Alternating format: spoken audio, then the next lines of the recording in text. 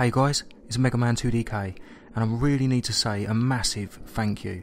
I've gained a lot of support recently. I featured in MrDalekJD's video, and I've gained amazing subscribers.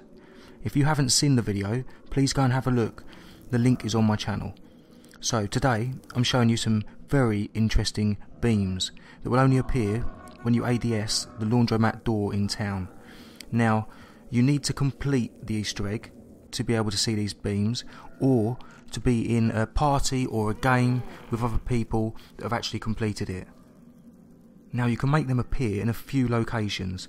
The first is in front of the door itself. You do not have to be close as long as you're in line with the door. You can move back as far as you can toward the building or go really really close to the door. But bear in mind the closer you are, the less opportunity you've got of seeing the beams. The second place I've found is on the second floor of the bar. You can go upstairs and as you're looking out at the broken wall, you can just look at the door and you can make them appear there. Also, you can kind of crouch down and look out the window and that's on the left hand side. And you can also make the beams appear from the laundromat door as well, so it's very strange.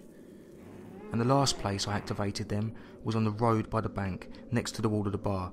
You can also go go back, there's like a railing behind you. You can get them to appear as far back as that. Now I've got no idea what these beams actually do or whether or not they're a glitch.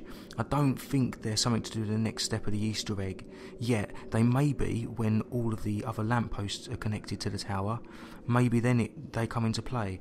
But it's very, very strange. They uh, go through the building and it looks looks a bit odd. So I just really wanted to show you these. So yeah, as always, please leave comments at the bottom of this video um, and let me know what you think of these beams and whether or not you've seen them. They're there's a few theories going around to what these particular beams can do and I'd like to hear your hear your ideas and theories. So please give this video a like and if you like what you see please subscribe. I've got plenty more videos coming and thanks again for all your support. I've been Mega Man and I'll catch you soon.